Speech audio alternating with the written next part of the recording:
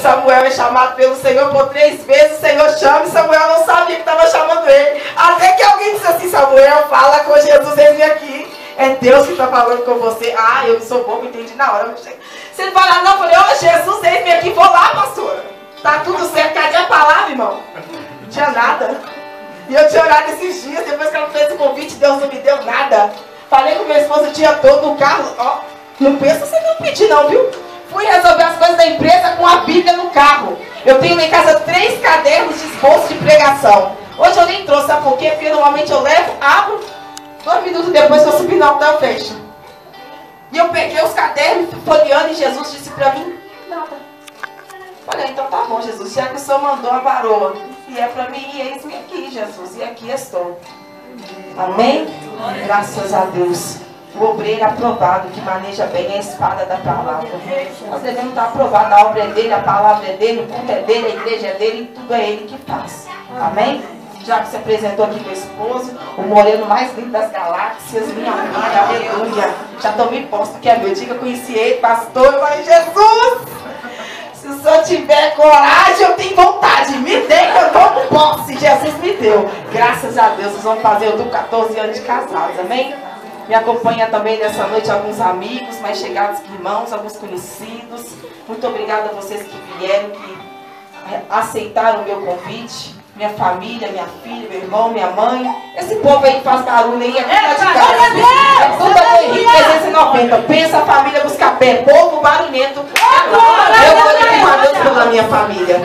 Isso é projeto de Deus. Nasceu no coração dele primeiro para depois nascer no nosso. O projeto chamado família.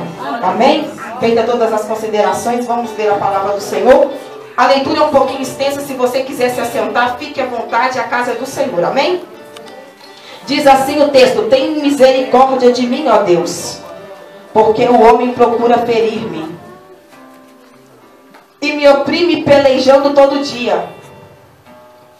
Os que estreitam continuamente querem ferir-me, e são muitos os que atrevidamente me combatem. Em me vindo o temor, hei de confiar em ti, em Deus, cuja palavra exalto Neste Deus ponho a minha confiança e nada temerei. Que pode fazer um mortal? O que me pode fazer um mortal? Pergunta Davi. Todo dia torcem as minhas palavras e os meus pensamentos. São todos, meu Deus, contra mim para o mal. Ajuntam-se, escondem-se, espionam os meus passos, como guardando a hora de me darem cabo da vida Dá-lhes retribuição segundo a tua iniquidade. Derriba os povos, ó Deus, da tua ira. Preste bem atenção no verso de número 8. Contaste os meus passos quando sofri perseguições, recolhendo as minhas lágrimas no teu odre. Não estão nelas escritas no teu livro?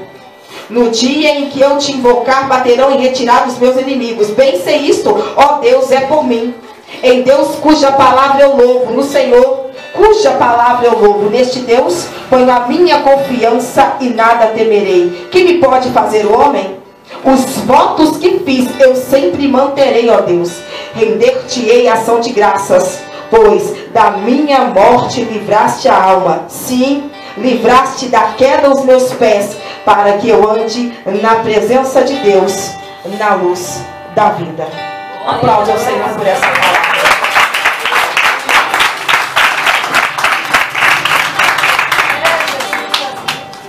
Eu gosto muito da história de Davi. E no último ano que eu tenho vivido, Deus sempre tem dado grandes revelações para mim acerca da vida dele.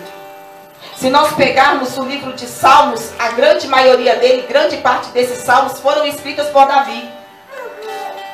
E é como se eu entendesse que Davi faz o registro da vida dele e coloca números e o nome dos salmos.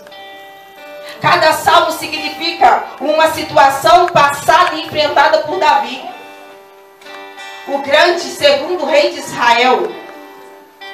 O grande pequeno jovem, pastor de ovelhas. Ungido com 17 anos. Mas que só toma posse do reinado com 30. alguns vão dizer até mesmo 37 anos e meio, pegando o livro de 2 Samuel e fazendo uma conjectura de algumas coisas que acontecem, alguns fatos, mas eu não quero me ater a isso aqui, porque isso pouco importa. Deus começou a confirmar essa mensagem aqui desde quando eu entrei. A mensagem acerca de tempo. Para eu viver no propósito do Senhor, eu preciso entender o processo. O salmista Davi que escreve o número, o salmo de número 56 é diferente do salmista Davi que escreve o salmo de número 23. Lá com 17 anos no pasto, cuidando do rebanho das ovelhas de seu pai. Quando o profeta está na casa dele, eu penso eu comigo. Se até hoje, para nós é uma grande honra receber um homem, uma mulher de Deus na nossa casa, imagina naquele tempo. O profeta marca com Jessé, pega teus filhos, se prepare porque me convém estar lá na tua casa. Sabiam que algo importante aconteceria ali. Mas Davi não foi convidado para estar. Quando ele escreve o Salmo 23, Davi está passando um momento de muita de muito conflito interno. O profeta está na casa dele, mas ele não foi convidado. Sabe-se lá o que estava passando na cabeça de Davi naquele momento. Então ele escreve o Salmo 23: O Senhor é o meu pastor. Quem é pastor cuida de rebanho, cuida de ovelha. Quem é pastor sabe. A pastora Itamaura está bem aqui no altar e ela sabe o peso da responsabilidade pastoral sobre ela. Pastor sabe a responsabilidade que ele tem.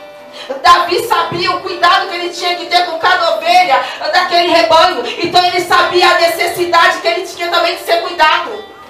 Mas Deus sempre vai nos confrontar, porque há momentos da nossa vida em que nós vamos estar no meio de muitos estaremos sozinhos. Nós estaremos no meio da nossa família, no seio amoroso, mas nós nos sentiremos sozinhos. A Bíblia diz que Davi mata leões, mata ursos. E a maioria das grandes batalhas que Davi enfrentou, ele estava sozinho. Ninguém viu. E você acha que era fácil para Davi entender o processo a qual ele estava passando naquele dia? Não. Marcas de batalha. Todo grande soldado de Deus tem. Mas nós esquecemos que essas marcas, quando elas cicatrizam, ok. Mas e quando ela é gerada dentro de nós? Esquecemos que para viver o propósito nós precisamos entender e aceitar o processo. O salmista Davi que escreve agora o salmo de número 51 é muito diferente também do profeta, do homem de Deus, segundo o coração de Deus que escreve o salmo 23. O salmo que Davi escreve: Perdoa, meu Deus, os meus pecados e purifica, meu Deus. Deus. Sabe o que tinha acabado de acontecer na vida dele? Ele tinha acabado de pecar. Ele tinha acabado de cometer um adultério. Ele olha uma mulher que tinha por nome Batseba. Mulher de um grande soldado. Ele olha para ela e deseja. Não bastasse somente o desejo, ele trama de, de estar com ela e coabita com ela. Mas era um homem segundo o coração. Era um projeto de Deus segundo o grande rei. Quem é que é ungido? Quem é que ninguém se assenta à mesa enquanto ele não chega em casa? Davi. Como assim, Jesus? Um homem com algo tão grande chamado na sua vida pode cometer algo tão grave, tão feio. Esquecemos nós que ele não chamou super-heróis para a tua obra. Davi também pecou, também falhou.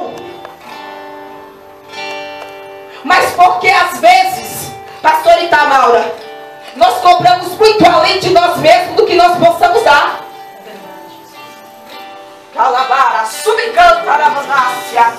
Porque Deus disse para mim, filha, tem muita gente assentada no banco dessa igreja, como o suia que se cobra além daquilo que eu estou pedindo para ele e para ela. Deus não chamou super-homens para a tua obra. Entenda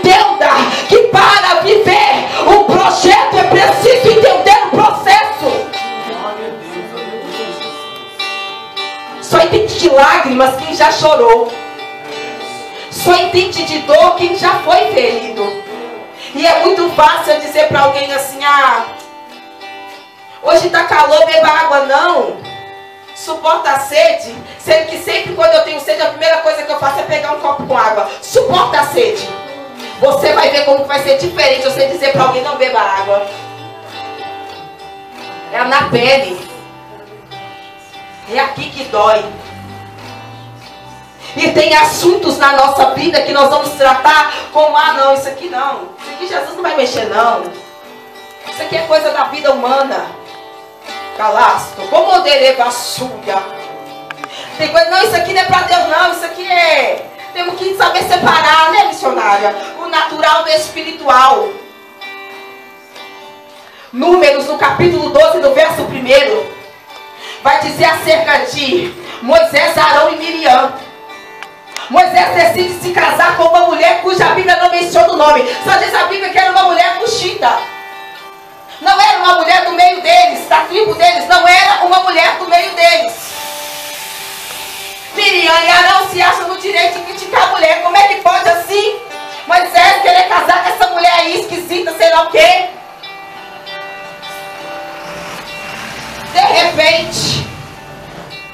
No oculto, no secreto, no escondidinho, sabe, pastora? Ninguém está vendo. Aquele café, aquela reuniãozinha no WhatsApp, ninguém está vendo. Coisas de família são tratadas, não tem nada a ver. Eu vou separar aqui o espiritual do natural. Deus está falando com alguém nessa noite. Não tem problema, não tem nada a ver, ninguém está vendo. Aí Arão e Miriam se reúnem e diz assim: Será mesmo, é? Que Deus está falando somente por Moisés? Não está falando aqui a gente não? Como é que é? Moisés não está se achando demais, não? E começam a colocar a desculpa da mulher, a qual Moisés escolhera para casar. Mas Jesus ouviu, diz a palavra, Números, no capítulo 12. Pode ler, pode abrir se alguém quiser. E diz a palavra do Senhor que o Senhor ouviu. Meu Deus. O que, que eu estou querendo dizer para você aqui, querido e querida? Deus vê tudo. Deus ouve tudo. Ele nunca perdeu o controle de nada. Para Deus não tem o espiritual e o natural. Para Deus tem propósito e projeto. Tudo está no controle dele. Entenda isso, ponte. O que Deus está fazendo tua vida é para que daqui a tempo você venha entender o propósito dele sobre você.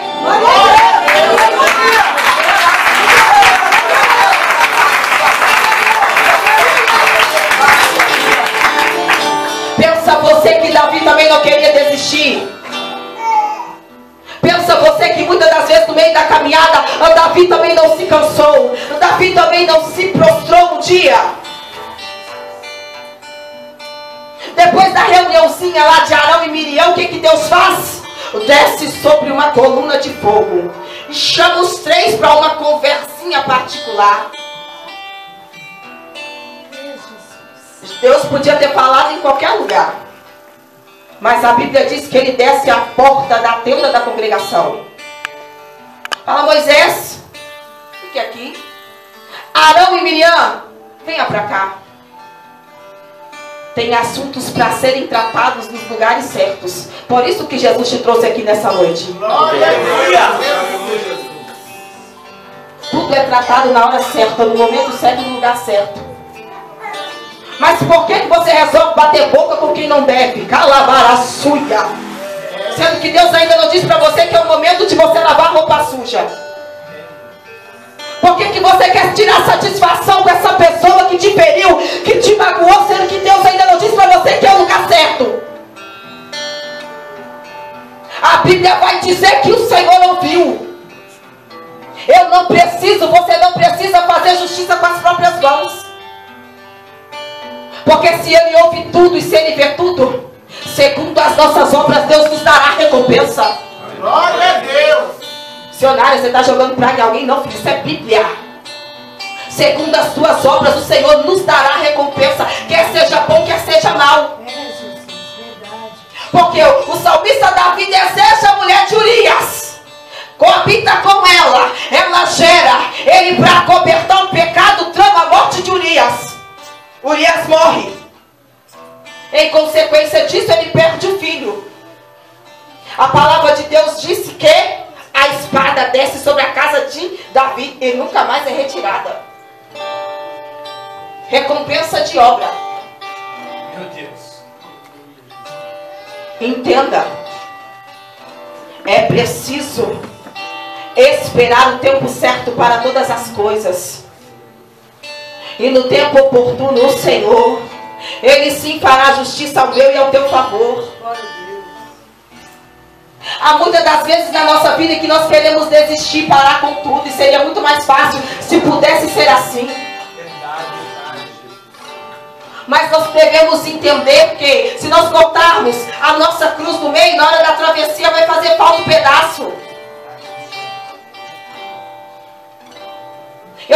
no cantinho falando, Deus, não tem palavra ainda, Senhor, o que, que o Senhor vai dizer para esse povo? Deus só disse para mim assim, fica ligada, filha, porque o meu meu mover hoje é diferente. Glória a Deus. Aleluia.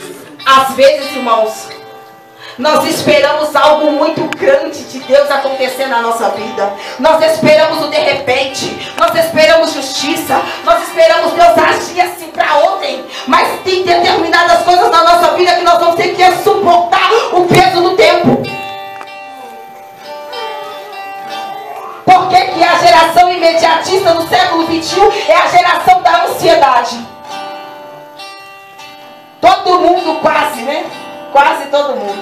Nem todo mundo, graças a Deus por isso. Tem um ansiolítico sim, já tornou normal, né, pastora? Ah, um remedinho ali para acalmar, tô nervosa, tô tremendo, trimilicando aqui hoje. Toma um remedinho aqui para acalmar. Sabe por que nós somos assim, irmãos? Porque nós não suportamos o tempo. Porque eu quero que tudo seja feito da forma que eu quero, da minha maneira sem saber que para viver o propósito eu tenho que aceitar o processo. Processo é doloroso, processo deixa marca, processo forja caráter, processo traz fé e processo traz paciência. Se tem paciência, não tem ansiedade. Ai, sou paciente, estou esperando o Senhor. Mentira! Se todo dia você está orando pedindo Deus justiça, se todo dia você está orando pedindo Deus para pegar alguém. Se, eu, se você está lá no ansiolítico todo dia. E eu não tenho nada contra, tá, irmão? Eu estou dizendo para você aqui. Se tem paciência, tenha calma. Se não tem, não tem. Sim, sim, não, não. É verdade, Deus. Forte, hein? E eu não vim aqui hoje no mover pentecostal que eu tanto gosto. Porque só dá quem tem para dar, irmãos. E a palavra confronta primeiro quem está pregando. O ouvido mais perto da boca é o meu. Então Jesus está falando para mim aqui. Espere, suporte o tempo. Não é do teu jeito, não é da tua maneira. Eu não disse para Jesus que eu não ia mais pregar. Eu falei pro meu esposo, outro Deus me mata aqui se eu tiver que te falei, vida, esse trem de pregação não é para mim, filho.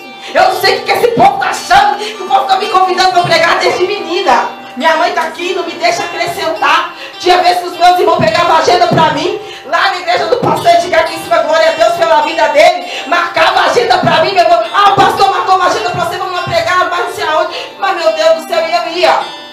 E hoje eu falei com meu esposo, eu não sei da onde o povo tirou isso, que eu sou pregadora, porque eu não sou. Eu não sou nada.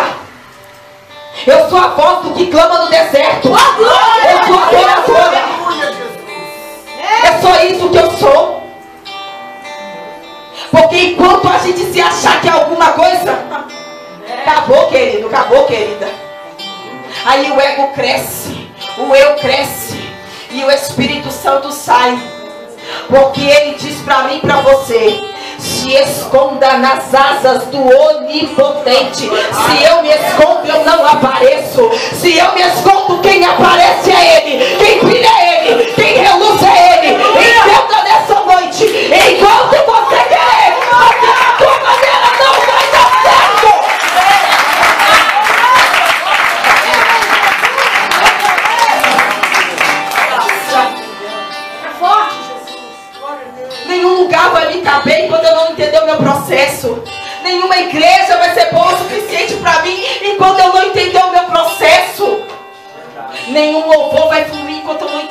Processo, é confronto.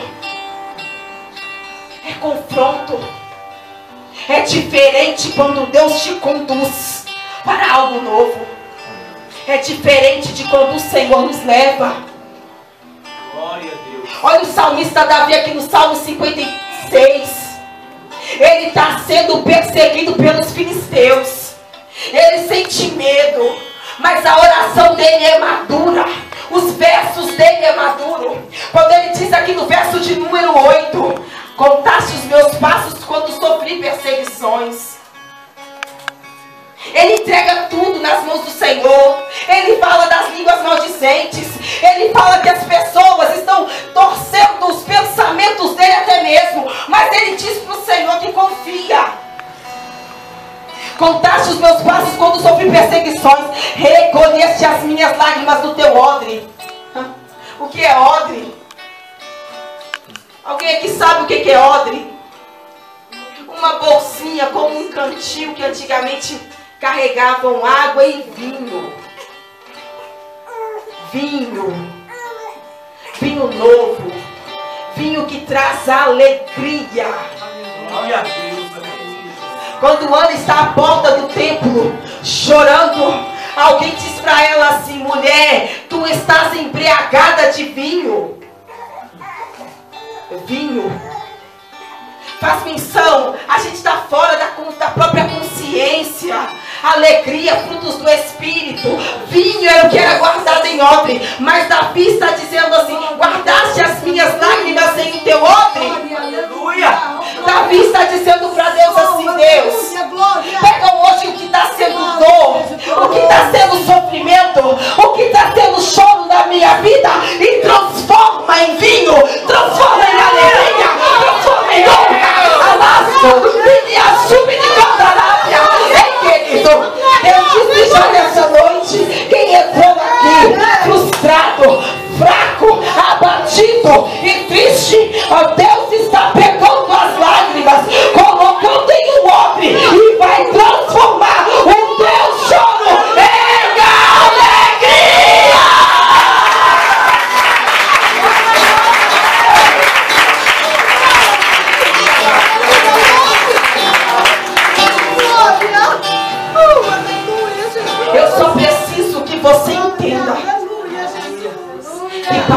viver o propósito que Deus tem na tua vida, você precisa entender o teu processo.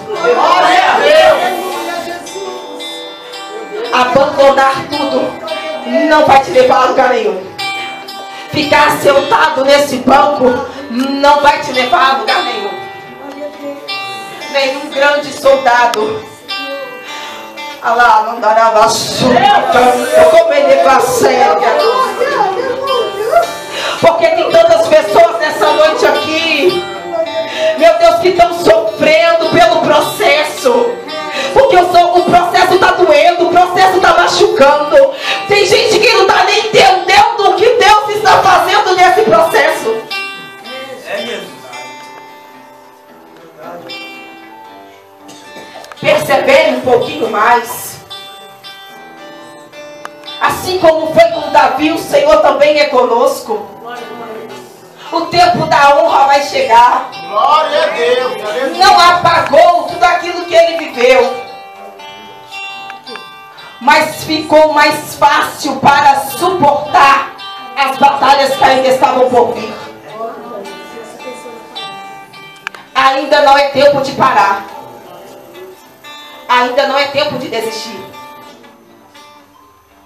Eu não sei em qual estágio da tua vida que você se encontra. Se você se encontra como o Salmo 23 lá no passo sozinho, vendo todo mundo comemorando a festa e você se encontra só. Eu não sei se você encontra com a fraqueza humana. Ah, missionária no pecado? Nem sempre. Mas pecar, todos nós pecamos todos os dias. E eu quero dizer para você que para Deus não existe pecadinho nem pecadão, amém? Não existe para Deus uma fita métrica que mensura tamanho e peso de pecado. O mesmo tamanho do pecado de quem rouba ceia é o mesmo tamanho do pecado para Deus de quem pega uma agulha escondido. eu fico olhando pro meu irmão, julgando o tamanho do pecado dele, e enrolo o meu rabinho e sento em cima. Olha para alguém nessa noite com um olhar de compaixão e de amor. Glória a Deus. Fica mais fácil nós entendermos o que é amor de Deus, o que é propósito de Deus, quando eu começo a olhar para alguém e falar assim: é Deus. Eu não sei como foi a trajetória desse homem até aqui, dessa mulher até aqui. Muitas pessoas naquele tempo julgaram Davi também pelo seu pecado. Mas sabe que ele passou a rejeição lá atrás? Sabe aquilo que, tudo aquilo que ele tinha enfrentado, que ele estava carregando dentro de si? Ele precisava se esvaziar. Ele peca. Ele assume a consequência do seu pecado, mas Jesus não o abandona por isso. Então eu quero que você entenda nessa noite que não é pelo cair, pelo fraquejar, pela fé se abater, é porque eu entendo o meu processo até chegar no meu propósito.